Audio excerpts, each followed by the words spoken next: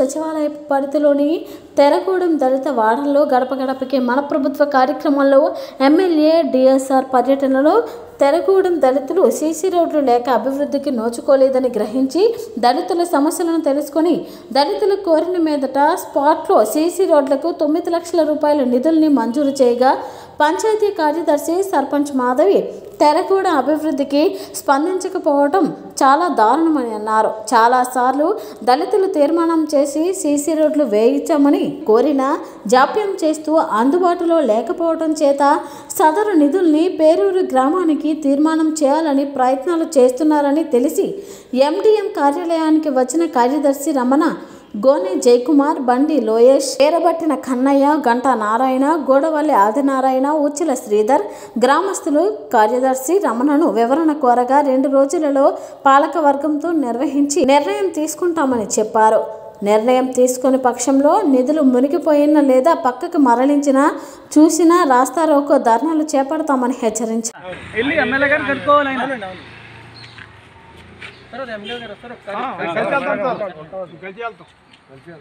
ఇప్పుడు మైకు ఇప్పుడు వరకు ఇలాగా ఎప్పుడు వస్తుందో ఎప్పుడు వస్తుందో లిస్ట్ మేము రెడీ పెట్టడానికి రెడీ నేను. మేము ధర్నా చేస్తామండి. అది కలెక్టర్ గారి దాకా వెళ్తే అప్పుడు ఆయన. మాకు ఇచ్చేస్తారు. చెప్పాను. చేయకపోతే మేము వాళ్ళకి పెట్టింది ఒక రోడ్డు ఉంది కదండి. వాళ్ళకి పెట్టింది మాకు మాకు పెట్టేసింది. సార్. నేను మాత్రం ఆయన దగ్గర దృష్టికి తీసుకెళ్ళాను. ఇప్పుడు ఒక ఎమ్మెల్యే దగ్గర నుంచి గ్రాంట్ వచ్చిన తర్వాత ఊరి నెంబర్ కూడా కావాలా? అది కాదు. అది కాదు నేను అనేది. ఆయన కూడా ఉంటే బలంగా ఉంటుంది కదా. ఇప్పుడు వాళ్ళు ఎవరు ఏంటి పరిస్థితి? ఆపేస్తారు ఒక మనిషి కోసం. అలా అని కాదు. మీరు గ్రామస్తులు మేము వచ్చింది గ్రామస్తులుగానే. వాళ్ళ గురించి కాదు. ఆ, ఇప్పుడు అంతే కదా మరి అది. అప్పుడు మీరు ప్రజలే చాలు. కాదు ఇప్పుడు గ్రామంలో కొంత వ్యతిరేకత వస్తుంది. ఒకటి వద్దని చెప్తాడు. దాన్ని బట్టి ఊరందరూ సార్. మీరు అందరూ వెళ్ళి కలవండి సరిపోతుంది సార్ అది ఎస్ఎల్కి వచ్చిన సార్ మీరు ఎస్ఎల్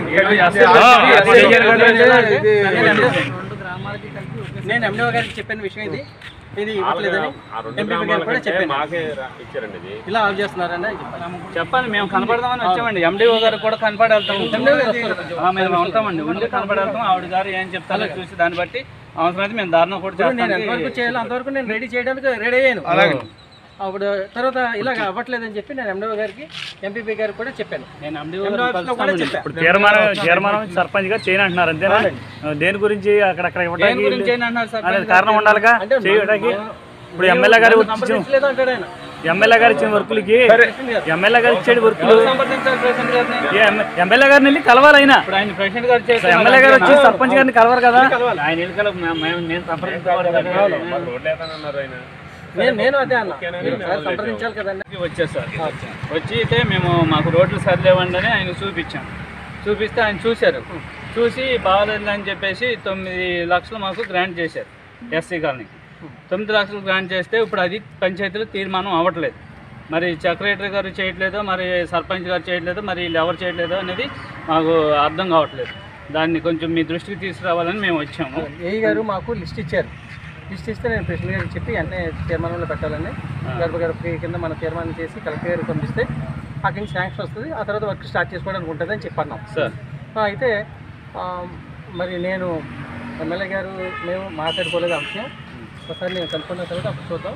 ఇప్పుడు మాత్రం మీరు ఆపండి అన్నట్టు మాట్లాడుతున్నాడు ఆయన ఆయన ఆపడానికి ఏం మాది అధికారం ఎస్ఐకి ఉంది? వచ్చింది ఇప్పుడు సార్ ఎస్సీ ఇది. కాలనీ కదా సార్ అంతే కదండి. ఎస్సీ కాలనీ ఆపడానికి ఎమ్మెల్యే గారు చూశారు. ఎమ్మెల్యే గారు కళ్ళారా చూశారు రోడ్డుని.